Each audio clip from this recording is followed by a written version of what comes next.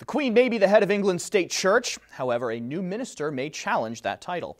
A Catholic university heeds the magisterium by changing its insurance plan to reflect natural law, and a new study reveals that religious hatred is on the rise in America. All that and more coming up on today's edition of Catholic News Roundup. Catholic News Roundup is brought to you in part by PewSitter.com, your online Catholic newspaper for the third millennium, CatholicMediaCoalition.org, in line with the Church online with the world.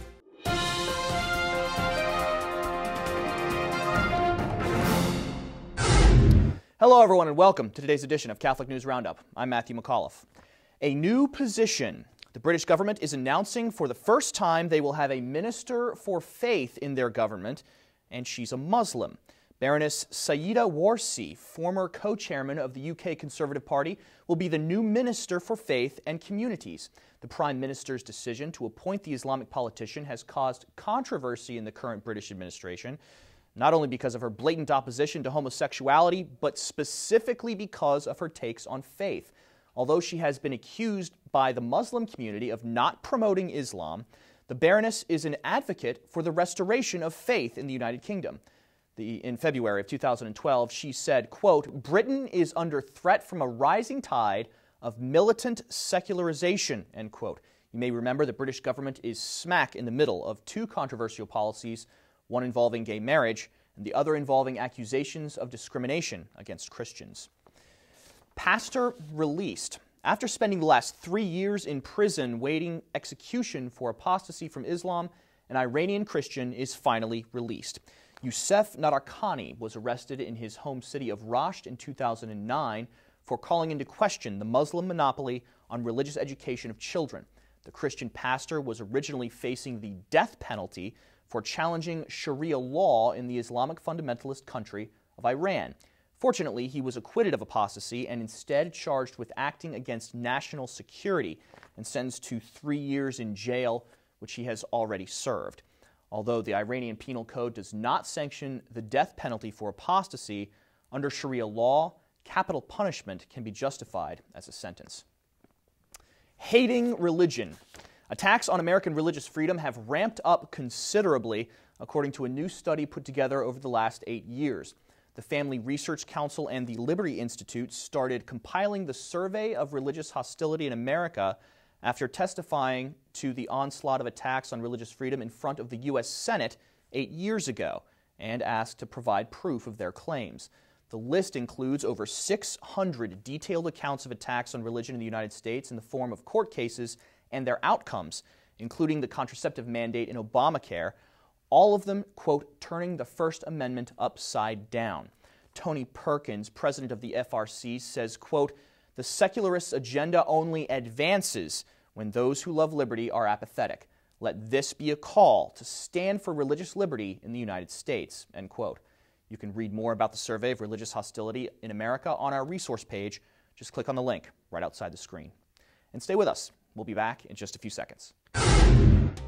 Catholic News Roundup is brought to you in part by NewOxfordReview.org, the voice of Catholic Orthodoxy, in print and on the web, and RenewAmerica.com, expanding the influence of America's grassroots in the cause of freedom.